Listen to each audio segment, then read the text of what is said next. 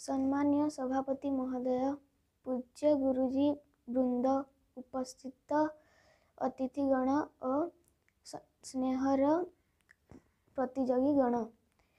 ଆଜି ପବିତ୍ର ଶିଶୁ ଦିବସରେ ମୋତେ ଶିଶୁମାନଙ୍କର ଅଧିକାର ବିଷୟରେ କିଛି କହିବାର ସୁଯୋଗ ମିଳିଥିବାରୁ ମୁଁ ନିଜକୁ ଧନ୍ୟ ମନେକରୁଛି। ଆଜିର ଶିଶୁଟି କାଲିର ନାଗରିକ।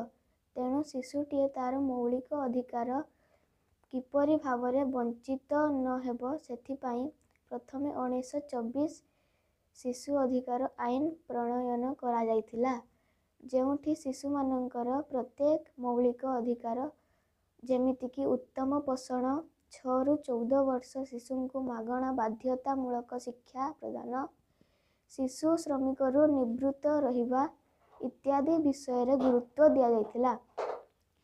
ଶିକ୍ଷା ହେଉଛି ଏକ ଗୁରୁତ୍ୱପୂର୍ଣ୍ଣ ମୌଳିକ ଅଧିକାର।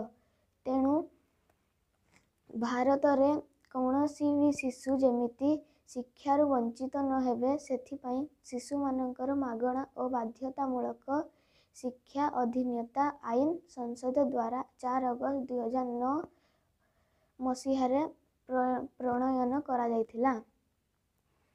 ଚଉଦ ବୟସ ପିଲାମାନଙ୍କ ପାଇଁ ମାଗଣା ଓ ବାଧ୍ୟତାମୂଳକ ଶିକ୍ଷାର ମହତ୍ତ୍ୱ ବିଷୟରେ ବର୍ଣ୍ଣନା କରାଯାଇଥିଲା। ବର୍ତ୍ତମାନ ଭାରତରେ ଶିଶୁମାନେ ଅବହେଳିତ ନଜରକୁ ଆସୁଅଛି। ଦୁଇ ହଜାର ଉଣେଇଶ ରିପୋର୍ଟ ଅନୁଯାୟୀ ସେହି ବର୍ଷ ଭାରତରେ ଭାରତରେ ପ୍ରାୟ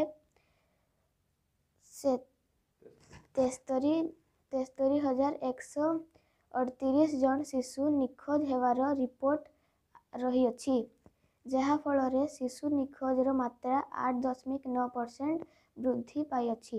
ଦୁଇ ହଜାର ଅଠରରେ ନିଖୋଜ ହେବା ଶିଶୁମାନଙ୍କର ସଂଖ୍ୟା ହେଲା ଅଠଷଠି ହଜାର ଏକ ଶହ ଚଉତିରିଶ। ଦେଶ ସହ ଆମ ରାଜ୍ୟରେ ମଧ୍ୟ ଶିଶୁମାନେ ଅବହେଳିତ ଯେଉଁଠି ପରୀ ହତ୍ୟାକାଣ୍ଡ ଏକ ଜ୍ୱଳନ୍ତ ଉଦାହରଣ ଅଟେ। ତେଣୁ ଆମେ ସମସ୍ତେ ଆଜିର ଏହି ଶିଶୁ ଦିବସରେ ନେବା କୌଣସି ଶପଥ ନେବା କୌଣସି ଶିଶୁକୁ ଅବହେଳିତ କରିବା ନାହିଁ ଓ ତା'ର ଶିକ୍ଷା ଓ ମୌଳିକ ଅଧିକାର ପ୍ରତି ଯତ୍ନଶୀଳ ହେବା, ଆମ ଦେଶ ଉନ୍ନତି ପଥରେ ଆଗେଇ ନେବା। ମୁଁ ଏତିକି କହି ମୋର ବକ୍ତବ୍ୟ ଶେଷ କରୁଛି। Thank you